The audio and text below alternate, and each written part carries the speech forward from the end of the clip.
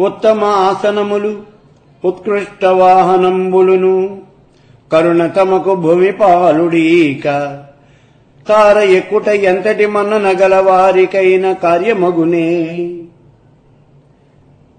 రాజుగారు మనల్ని అనుగ్రహిస్తేనే ఉత్తమమైనటువంటి ఆసనాన్ని అధిరోహించాలి. అలాగే వాహనం కూడా. రాజానుగ్రహం లేకుండా శ్రేష్టమైనటువంటి ఆసనాలు పెద్ద పెద్ద వాహనాలు తమంతట తాముగా తెచ్చుకోవటము ఎక్కటము వాటిని సమకూర్చుకోవటము అనేది ఎంతగా రాజాభిమానము రాజగౌరవము పొందినటువంటి వాళ్ళకైనా కూడా అవి ఇబ్బందికరమే అవుతాయి. అవి చేయకూడదు అని చెప్తూ ఉన్నాడు. ఇక్కడ ఒక చిన్న ఉదాహరణ చూడండి. భారతదేశానికి స్వాతంత్ర్యం రానటువంటి రోజుల్లో జవహర్లాల్ నెహ్రూ యొక్క తండ్రి మోతీలాల్ నెహ్రూ ఆయన లాయర్గా ప్రాక్టీస్ చేస్తూ ఉన్నటువంటి సమయంలో మన దేశంలో ఉన్నటువంటి ఒక రాజావారు ఆయన కుమారుడి వివాహం చేసి కొడుకుని కోడల్ని ఒక రథం మీద కూర్చోబెట్టి ఊరేగిస్తూ తీసుకుని వచ్చాడు.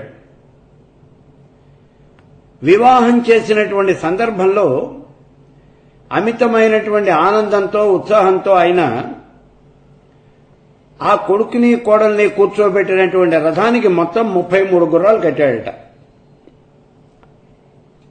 ముప్పై మూడు గుర్రాలు కట్టినటువంటి ఆ రథం మీద. కొడుకుని కోడల్ని ఊరేగిస్తూ తీసుకొచ్చాడు. అంతవరకు బాగానే ఉంది. ఊరేగింపు అయిపోయింది. వీళ్ళింట్లో ఆ కళ్యాణ వేడుక కూడా పూర్తయిపోయింది. ఆ మర్నాడు గవర్నర్ జనరల్ దగ్గర నుంచి తాకీదు వచ్చింది. విషయం ఏమిటి అంటే ముప్పై మూడు గుర్రాలు కట్టినటువంటి రథాన్ని ఎక్కే అధికారం గవర్నర్ జనరల్కి మాత్రమే ఉన్నది ఇంకెవరికీ లేదు.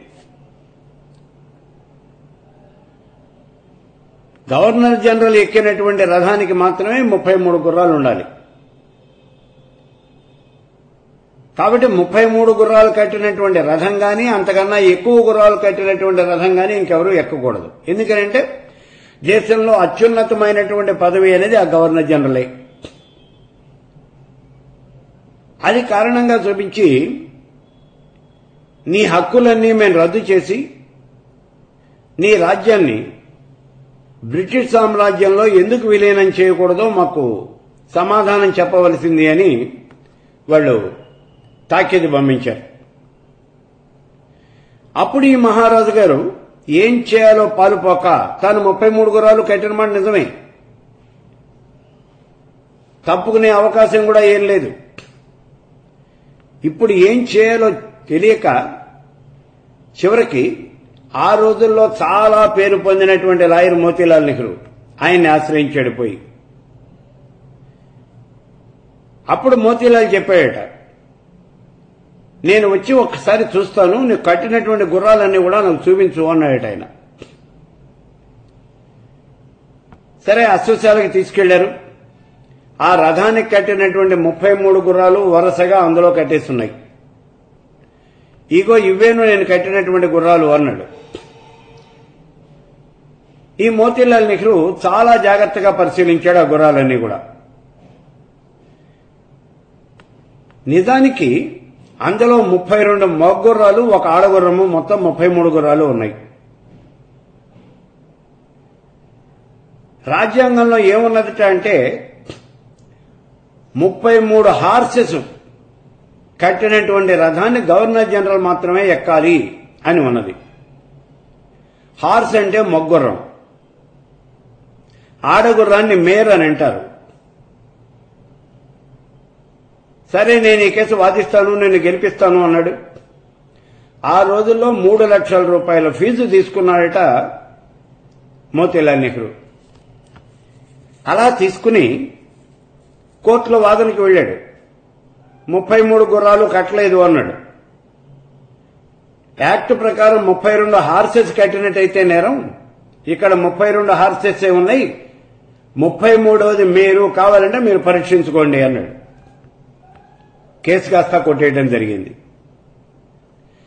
ఒకవేళ ఇది కూడా కనుక మగగుర్రమే అయ్యున్నట్లయితే ఆ రాజావారు ఆయన యొక్క రాజ్యాన్ని పోగొట్టుకునేవాడు. ఇది ఇక్కడ మనం గుర్తించవలసినటువంటి విషయం. అందుకని మన దగ్గర ధనం ఉన్నది అనే గర్వంతో ఉత్తమమైనటువంటి ఆసనాలు ఎప్పుడూ కూడా ఎక్కకూడదు. రాజుగారి సింహాసనానికి మించినటువంటి ఆసనాన్ని ఎప్పుడూ కూడా మనం తయారు చేయించుకోకూడదు. ఇప్పుడు కూడా మనం వింటూనే ఉన్నాం చూడండి. ఆయన ఎవరో గత జన్మలో నువ్వు శ్రీకృష్ణదేవరాయలువే అని చెప్పారట ఆయనకి. అందుకని ఈ జన్మలో బంగారంతో చేసినటువంటి ఒక సింహాసనాన్ని తయారు చేయించుకున్నాడు. విపరీతమైన డబ్బులు సంపాదించాడు ఎన్ని కోట్లు సంపాదించాడో ఆయనకే తెలియదు బంగారు సింహాసనం కూడా చేయించుకున్నాడు ఇప్పుడు ఆయన పరిస్థితి ఏమిటి అంటే జైల్లో ఊత లెక్క పెడుతూ ఉన్నాడు. ఇక్కడ మనం గుర్తించవలసిన విషయాలు కొన్ని ఉంటాయి. మన దగ్గర ధనం ఉండొచ్చు కానీ ఆ ధనాన్ని మన ఇష్టం వచ్చినట్టుగా ఎగ్జిబిట్ చేయకూడదు ప్రదర్శన అనేది పెట్టకూడదు. చాలా ఇబ్బందులు వస్తాయి. అందుకే అంటూ ఉన్నాడు ఉత్తమ ఆసనములు ఉత్తమమైనటువంటి ఆసనాలు అలాగే ఉత్కృష్ట వాహనములు. ఇందాక చెప్పుకున్నాం కదా? ఆ రథం ఎక్కితే ఎటువంటి ఇబ్బంది వచ్చిందో? ఇవి అన్నీ కూడా రాజుగారి యొక్క అనుగ్రహం లేకుండా ఇలాంటి పెద్ద పెద్ద వాహనాలు గాని ఆసనాలు గాని మనం అధిరోహించకూడదు. ఎంత రాజుగారు మనకి పరిచయం ఉన్నప్పటికీ కూడా రాజుగారితో మనకి చనువు ఉన్నప్పటికీ సాన్నిహిత్యం ఉన్నప్పటికీ కూడా రాజుగారు ఎక్కినటువంటి ఏనుగు కన్నా చాలా గొప్పదైనటువంటి ఏనుగు మనం ఎక్కామనుకోండి. రాజుగారిని కించపరిచినట్టు అవుతుంది. మనం ఎంత చేసినా ఏం చేసినా రాజు కన్నా గొప్పవాళ్ళం కాలేము. రాజుగారి యొక్క కృపా కటాక్ష వీక్షణాలు ఉంటేనే మనం గొప్పవాడిగా గుర్తించబడతాం. అందుకని ఇటువంటి పనులు ఎవరు కూడా చేయకూడదు. రాజుగారి యొక్క గౌరవం ఎంత పొంది ఉన్నప్పటికీ కూడా మనం ఆ పని చేయకూడదు. రాజుగారే నిన్న ఆసనం ఎక్కించాలి. కృష్ణదేవరాయలు చూడండి. అలసాని పెద్దలని పల్లకీలో కూర్చోబెట్టి స్వయంగా తానే ఆ పల్లకి మోసుకొచ్చాడు. అది గౌరవం పొందటం అంటే. అంతేగాని కృష్ణదేవరాయలు అధిరోహించినటువంటి వాహనం కన్నా ఇంకా పెద్ద వాహనం ఎక్కుతాను. దానివల్ల ఉపయోగం ఏముండదు ఇబ్బందులు కూడా వస్తాయి అదే మాట చెప్తూ ఉన్నాడు. మన్నన కుబ్బక అవమతి తన్నొందిన సృక్కుంబడక. తనని రాజుగారు గౌరవిస్తే ఊపిపోకూడదు. అలాగే రాజుగారు అవమానిస్తే ఏమాత్రం కూడా కుంగిపోకూడదు. రాజుగారు గౌరవించారు అని చెప్పేసి సంకలగరేయకూడదు రాజుగారు అవమానించాడు అని చెప్పేసి ఎప్పుడూ బాధపడకూడదు. ఈ రెండూ లేకుండా ధరణి సుకడన్ మున్నున్న ఎట్లు మెలగిన అన్నరునకు శుభములదవు ఆపదలడుగన్. అటువంటి వాడికి ఏ రకమైన ఆపదలు కూడా ఉండవు. ఈ రెండింటిని అధిగమించి రాజుగారి దగ్గర ప్రవర్తించేవాడికి అన్నీ కూడా శుభాలే జరుగుతాయి. కాబట్టి రాజుగారికి నీ మీద కోపం వచ్చి నిన్ను అవమానించిన నిన్ను సన్మానించిన అన్నింటినీ ఒకే రకంగా నువ్వు తీసుకోవాలి. జనపతి ఎవ్వరినైనను మనుప చెరుప పూనియునికి మది తెలియ. ఎరింగిన ఏని తాను వెలిపుచ్చునే. మును మున్నెట్టి పాలచుండుదానిన్ రాజుగారు అనేకమైనటువంటి నిర్ణయాలు తీసుకుంటాడు. ఎవరినైనా శిక్షించాలి అనుకోవచ్చు ఎవరినైనా రక్షించాలి అనుకోవచ్చు ఎవరికైనా సన్మానం చేయాలి అనుకోవచ్చు ఎవరినైనా అవమానించాలి అనుకోవచ్చు. అనేక రకాలైన ఆలోచనలు ఈ రాజుగారు చేయడం జరుగుతుంది. అటువంటి సమయంలో రాజుగారి దగ్గరగా ఉండే వాళ్ళకి రాజుగారి యొక్క పరివారానికి ఈ విషయాలన్నీ కూడా తెలుస్తాయి. ముందుగానే తెలుస్తాయి.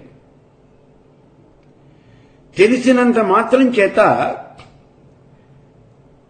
ఆ పనులు అమలు కాకముందే ఆ విషయాన్ని ఎప్పుడూ కూడా బయట పెట్టకూడదు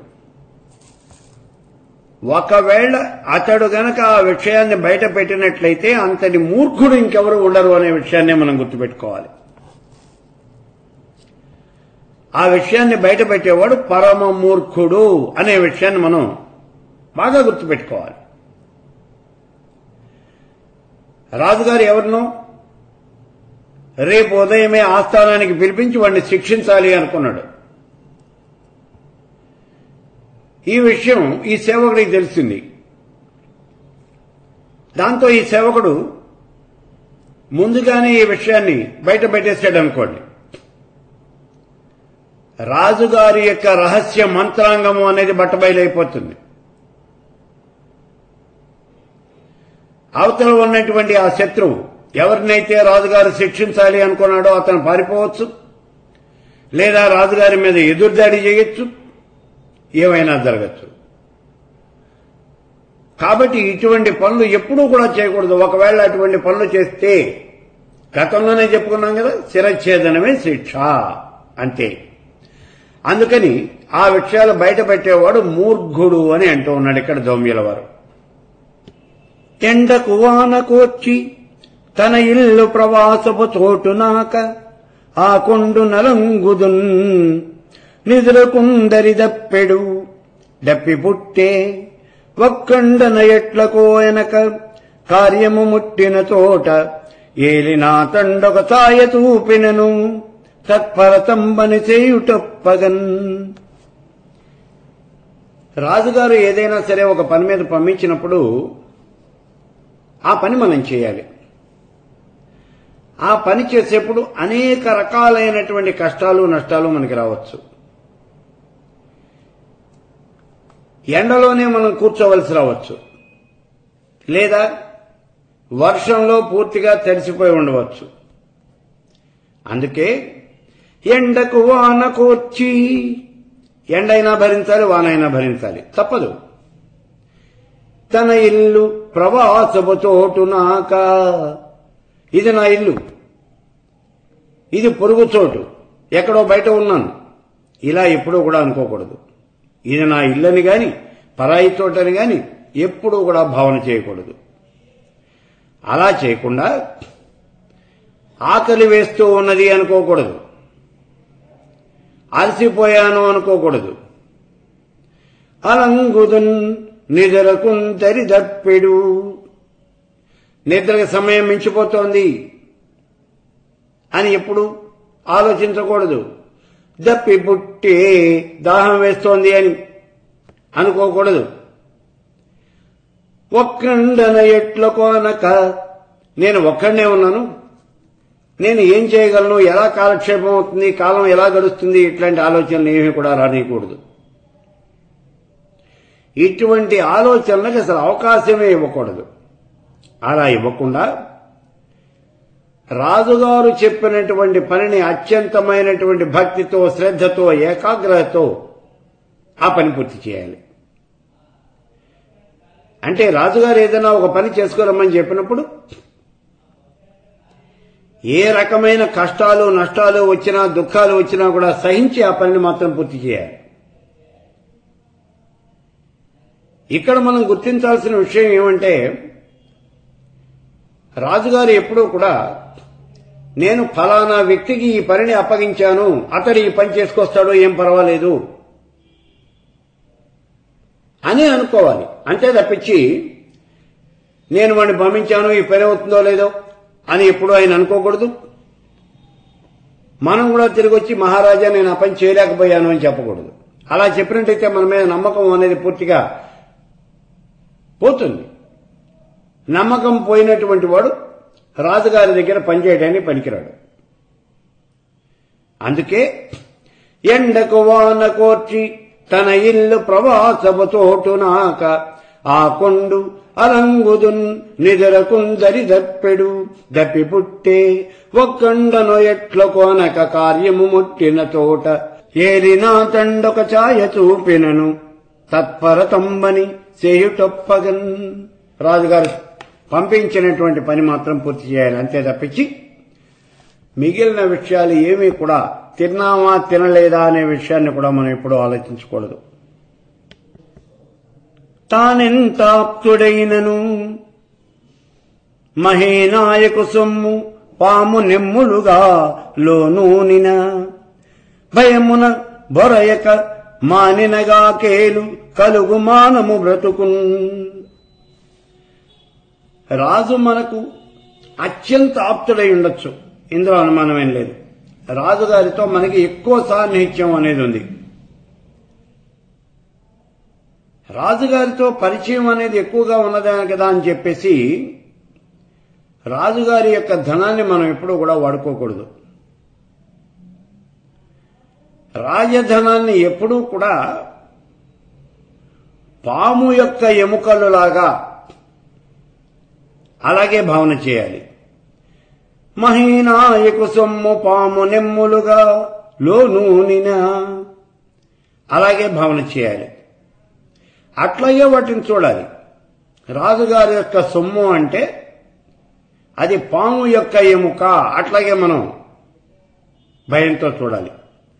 అలా చూసినటువంటి వాడికి ఎటువంటి పరిస్థితుల్లోనూ కూడా హాని అనేది జరగదు. రాజుగారి సొమ్మును తాకకుండా ఉంటే అంటే దాన్ని తాను తినేయకుండా ఉంటే ఆ ధనాన్ని తాను వాడుకోకుండా ఉంటే అతడికి ఏ రకమైనటువంటి హాని కూడా కలగదు. అతడి ప్రాణము మానము రెండు కూడా సురక్షితంగా ఉంటాయి. ఇక్కడ మనం ఒక్క చిన్న ఉదాహరణ చూడొచ్చు. ఏమిటి అంటే రామదాసు. భక్త రామదాసు ఆయనే. భద్రాచలంలో దేవాలయం కట్టించినటువంటి వాడే ఈ రామదాసు. తాయిషాకు చెల్లించవలసినటువంటి మూడున్నర లక్షల రూపాయల పైకాన్ని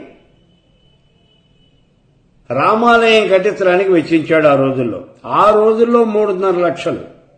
చూడండి. ఎప్పుడు మూడున్నర లక్షలు అంటే ఇప్పుడు ఎంత అవుతుంది అది? కొన్ని కోట్ల రూపాయలు అన్నమాట తానీషాకు చెల్లించవలసినటువంటి డబ్బులు అవి వాటిని రామాలయాన్ని కట్టించడానికి వాడాడు. ఫలితంగా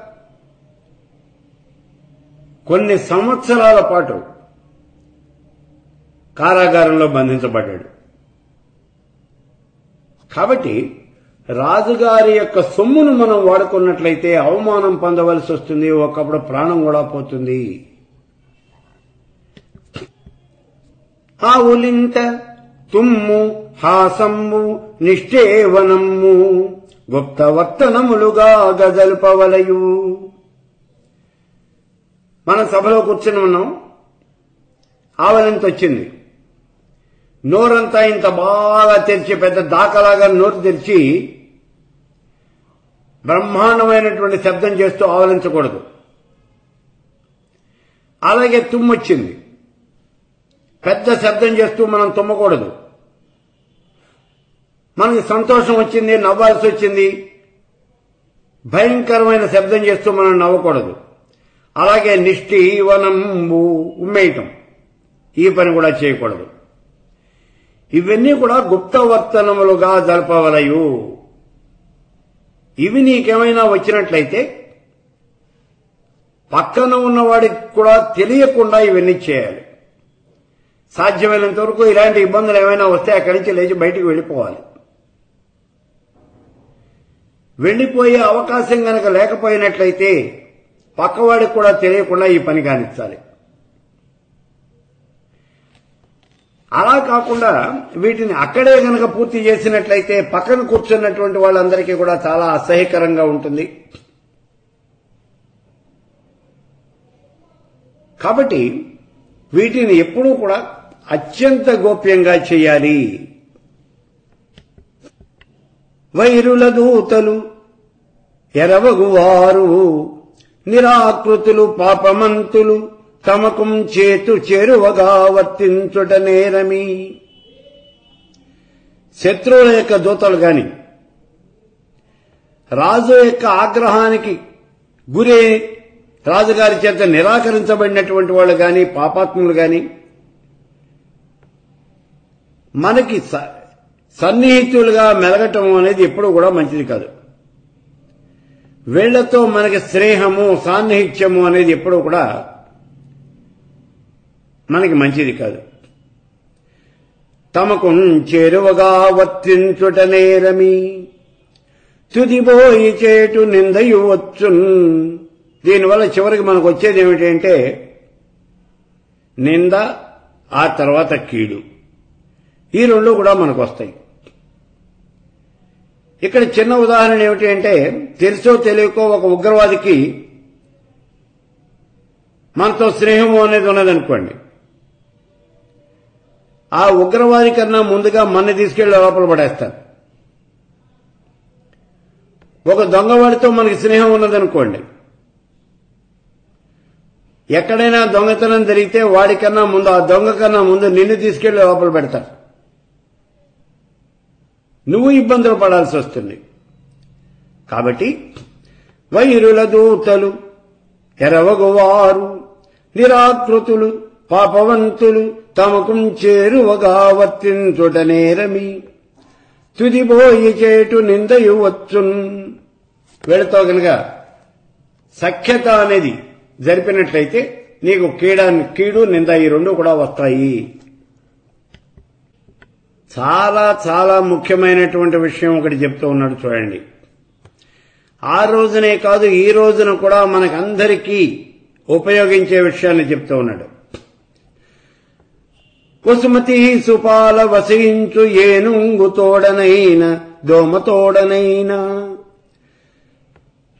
రాజుగారికి దగ్గరగా అత్యంత సన్నిహితంగా ఉండే ఏనుగుతో గాని దోమతో గాని. అంటే రాజుగారికి సాన్నిహిత్యం కలిగి ఉన్నటువంటి వ్యక్తి. అతడు పెద్దవాడైనా గొప్పవాడైనా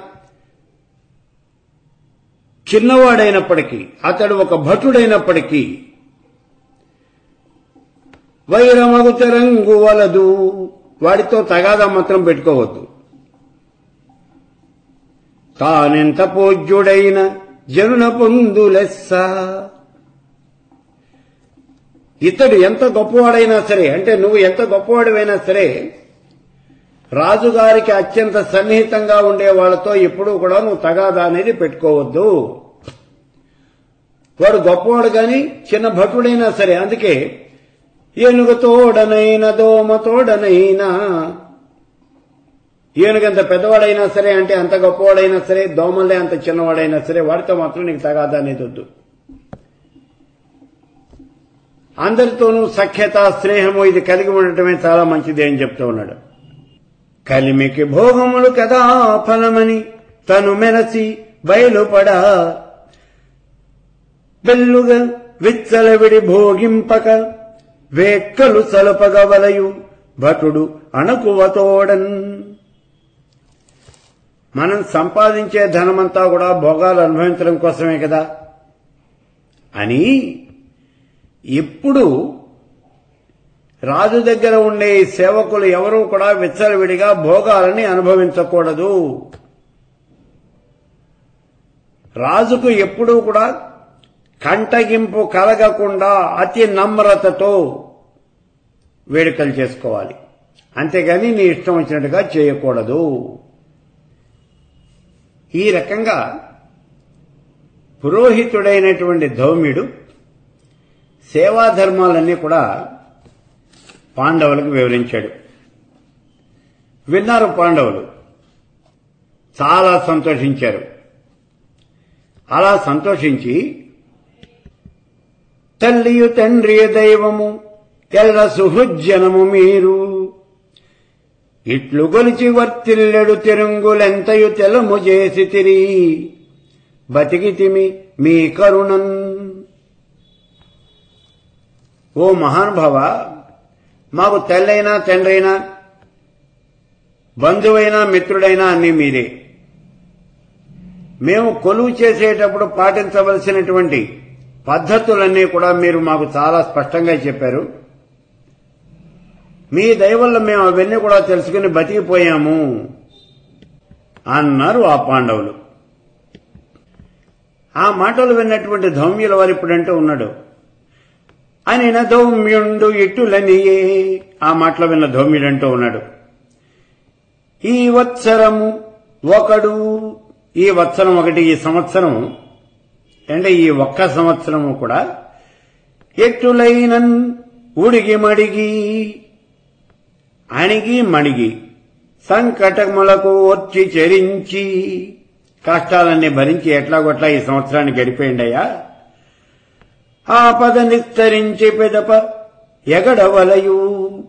ఎట్లాగొట్లా ఈ ఆపదలన్నీ కూడా మనం కష్టాలని భరించి ఈ అజ్ఞాతవాసం నుంచి మీరు బయటపడండి అన్నాడు. అరణ్యవాస కాలంలో వీళ్ళు కష్టాలు అనుభవించడం వేరు అజ్ఞాతవాసం వేరు. అరణ్యవాసంలో కష్టాలు అనుభవించినప్పటికీ వీళ్ళు ఎక్కడున్నారో అందరికీ తెలుసు. దానివల్ల ఎవరికి ఇబ్బంది లేదు కష్టాలు మాత్రమే అనుభవిస్తూ ఉన్నారు. కానీ అజ్ఞాతవాసంలో వీళ్ళు కష్టాలు పడలేక ఒకవేళ బయటపడ్డట్టయితే వీళ్ళ ఉనికి కనుక బహిర్గతమైనట్లయితే అసలుకే ముప్పు వస్తుంది? మళ్ళీ అరణ్యవాసం చేయాల్సి వస్తుంది. అందుకని ఎట్లా కొట్లా ఈ అజ్ఞాతవాసం అనేది సంవత్సరాల కాలం పూర్తి చేసి బయటపడండి అన్నాడు. అనవుడు అట్టుల చేసేదమని వారలు భక్తియుక్తి అతనికి అభివందనమునరించి. తగు దివినలిచ్చే అతండు గాఢవాత్సల్యమునన్. ఈ మాటలు విన్నటువంటి వాళ్ళు ఓ మహానుభావ మేము అలాగే చేస్తాము అని అతడికి అపరిమితమైనటువంటి భక్తితో నమస్కారం చేశారు. ధౌమ్యుల వారు కూడా అతిశయించినటువంటి వాత్సల్యంతో వాళ్ళందరినీ దీవించాడు. భూదేవోత్తము ఆశీర్వాదంబుల ప్రీతి పొంది వారలు ప్రస్థానాదపరులగుటయు సమ్మోదావహ పుణ్యకర్మలకు ఉజ్జుతుడై